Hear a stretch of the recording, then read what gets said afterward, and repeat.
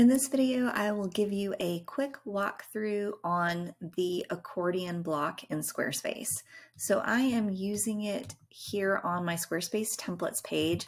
And you'll see that because this section is pretty wide, I actually have two accordion blocks next to each other. So let's just set that up from scratch. I'm gonna create a new template or a new section here and I'll add in the accordion block. And if you don't see it, you can just st start typing accordion and it will appear here. And then what I did for the layout here is I added another accordion block and I'll just click and drag it to the side here so that they are side by side.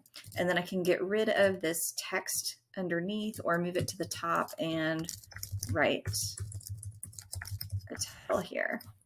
So let's do that and center it. Now for the accordion blocks themselves, there are lots of things we can do. So I'm gonna grab some lorem ipsum so that we see what a longer answer would look like here. So for the accordion block, if you double click on the block, it's going to open up the editor and you can change your content. So for example, accordion item one, going to go ahead and drop in this longer paragraph here. So there are some things right off the bat that I don't like here. Um, I actually am using a smaller H4 than my paragraph 2 text, so I'm going to change these around. And I don't love that this isn't coming farther to the right. I don't love the um, the bar on the top that you can see here, this kind of divider line, and I don't like that they're so dark. So we'll look at those changes and then we'll also look at changing the icon and the position as well. So let's go ahead and double click, get back in here to our um, design. So let's just leave content the same for now. You can write your titles here, descriptions here, um, delete these, add another one, and it will set that up for you. But let's focus on the design panel. So first off, I want my title to be, instead of heading four. I could make it heading three, but that's pretty big and it's styled like heading for me. So I'm actually going to go paragraph one for me, which feels good. And then my description is paragraph two. So if I go back to my content and I look at it here, this feels really nice. This is slightly bigger and it looks like a question and answer to me. So I like that. So inside design, I've got my text um, styling set here. Now we can decide in design, do we want to expand the first item? I don't want to do that because these aren't going to be the same length and I want it to look nice and tidy. So I'm going to turn that off. But if you just had one accordion block and you wanted people to understand what they could do to interact with this and it wasn't, you thought maybe they needed that visual cue, you could expand the first item. You can also allow multiple items. So here, if I save this and I click item one and item three, they're both open. Whereas here, if I hit item one and item three, it closes the first item. So you can choose if you want to allow that. I'm going to turn that off. Dividers are on, but if you click on here, you can see you can turn them off, which I think is a little weird. I like having something there, but I don't like showing the first one. I'm going to turn that one off. You can also turn off the last if you'd like, and you can choose the thickness. I prefer the smallest you can choose it exactly by pixel size here if you want to, uh, but I'm just going to go small. And then for opacity, I'm going to bring that way down so it is a faint line.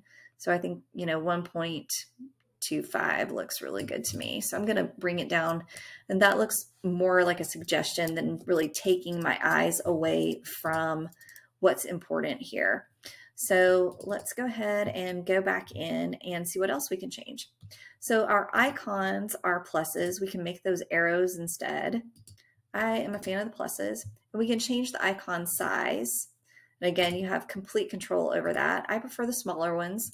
Icon thickness, again, I prefer the smaller ones because it matches my site design. But if you have a really bold site design with heavy, heavy fonts, you may want to go with a larger icon size or a, a a thicker icon. We can also adjust the icon placement to be left of our item title or to the right. And we can change the row padding. So we can make it tighter. So these things are much closer together medium, which I feel is pretty nice and spacious. It doesn't feel crowded, and large, which I think for my design, it's a little bit too big. So I'm going to stick with medium here. Now, we have um, decided here on our layout for this, but let's go back and, and, open up this content again. I still don't love how this is um, too far to the left for me, really. I feel like it should come farther to the right. The description should take up more of that optional space. So here, beside where you have title and description, if you click these, it's going to give you a little bit more options on alignment for the title. But for paragraph, we can actually choose the width as well. So I can make it large or I can make it, if I don't want it 100%, I could make it 90%. We can also change the padding of just this description area, the alignment of just the description and the placement. I um, I think this is a nice option too to inset it a little bit and then kind of make this a little bit smaller. So that looks really nice and balanced to me, adjusting the width and the inset of the paragraph too. So it feels like an answer. So let's just save that and we'll take a look. So this is what we have now I think this is very nice. Definitely a nicer style than the original with these heavy lines. And I love the inset for the answer here. And I love that it takes up more of the block on the right. We're not dealing with all that empty space. So that's a walkthrough of the accordion block on Squarespace.